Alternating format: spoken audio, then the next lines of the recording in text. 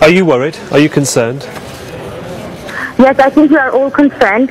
It has definitely been bigger than anybody expected.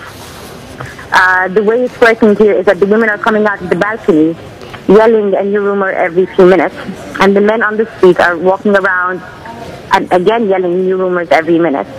We have lost possibly we have lost all sense of what is true and what is not. And so right now it is almost 11 p.m. in Cairo, and all the civilian forces on the street are going to get worn out in a couple of hours, by most couple of hours. So we're not sure how it's going to be overnight. Of course, the uh, announcement from the military is that they will now deploy more troops uh, across the country. Uh, that may help in the short term, but in the long term, I presume people in your area want to see a conclusion to what's going on a- across Cairo and Egypt. A few hours ago on the national TV, it said that the army was deployed and heading towards Heliopolis, the area where the presidential palace is.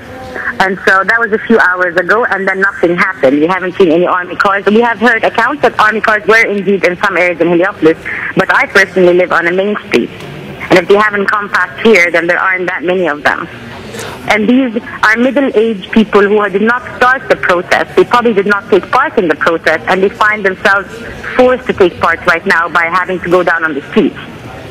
It's an incredibly, incredibly uh, difficult position if you're, uh, as you say, uh, middle aged and without security. So, what's the main concern within the area? If, even if you have formed sort of mini militias, uh, do you, uh, are, you, are you concerned that you will have to maintain the sort of self security for the time being?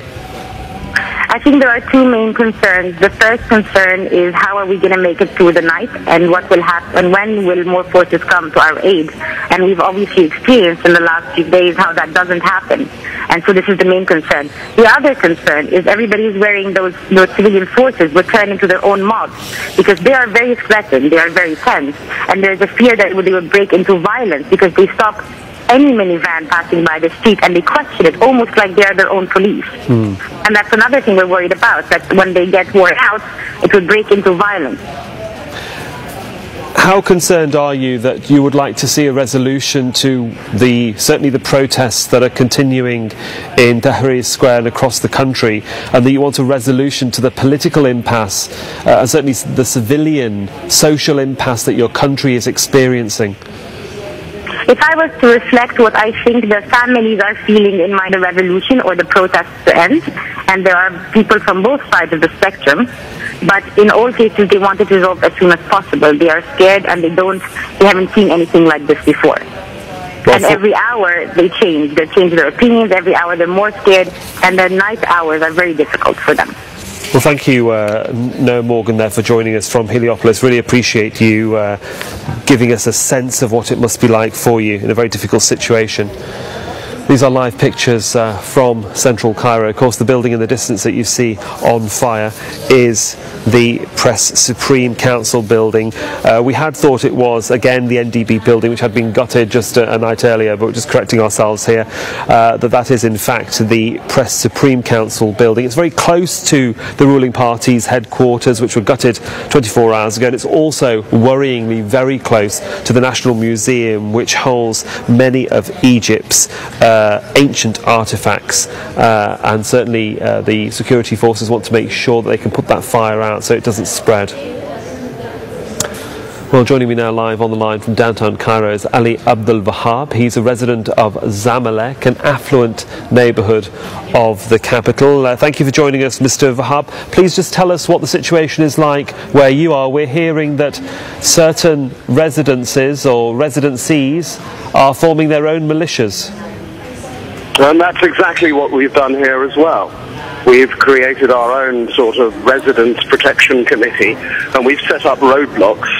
And um, unless we're fairly certain uh, that it's safe to let a particular vehicle or a particular person through, then we simply will not let them through. When did what sort of I mean when did you decide that the only option was to form this sort of militia? Uh, what was the turning point for you? Well, the fact that there is no security presence in the streets whatsoever, and we were hearing a lot of rumours of um, of looting going on, particularly in the neighbouring behind-the-scene area. and uh, it's quite clear that the the um, the, situ- the security situation in the country is in free fall.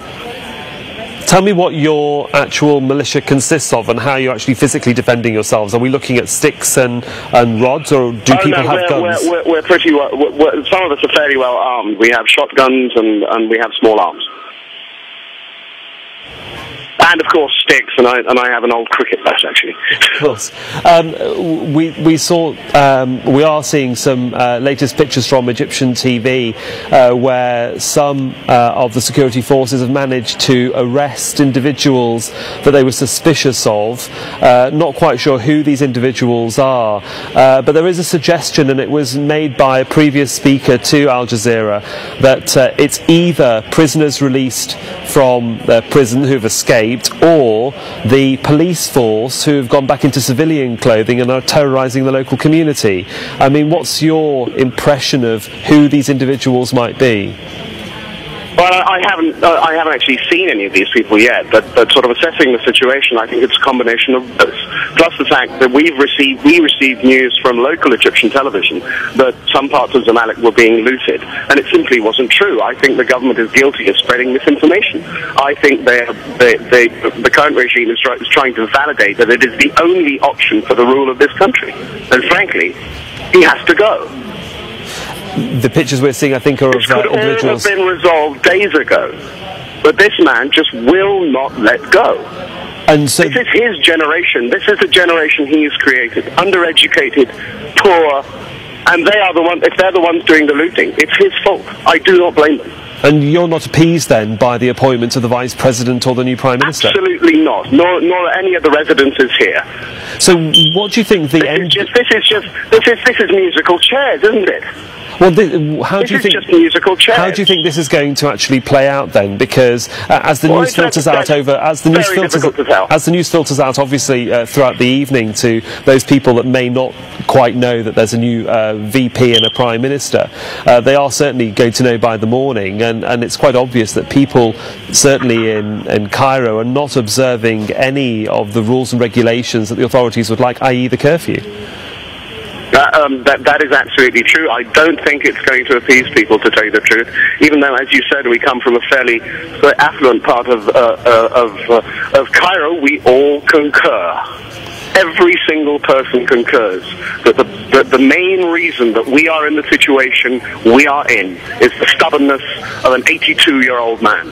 Well, Mr. Ali Abdul Wahab, thanks very much for joining us. Really appreciate your comments and your experiences there, and have a safe night. Let's join our, our correspondent Ayman Mohyeldin, who's in Cairo. Uh, we're seeing pictures, uh, we believe, of suspects arrested in Alexandria lined up against a wall. Uh, possibly some of the thugs uh, that uh, the authorities are talking about or local people are talking about. I don't know if you can see these pictures, uh, but an interesting development that state television is broadcasting them.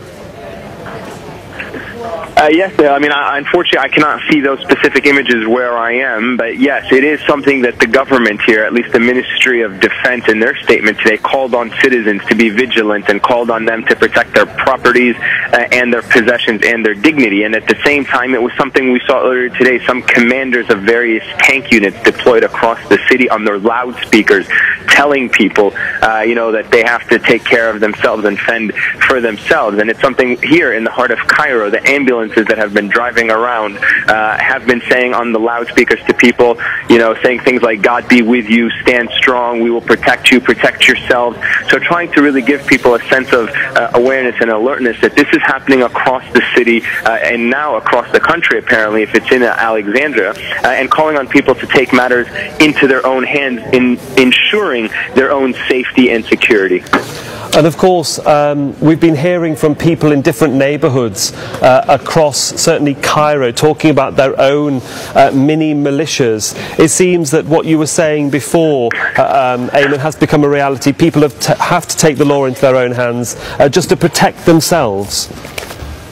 Yeah, that's correct. I mean, you know, we're using the word militias, and perhaps militias is slightly uh, implying that they're very well armed or perhaps even strongly armed. In the case, it's not like that at all. What we're seeing is people breaking off whatever they can in terms of uh, wooden sticks, metal rods, knives.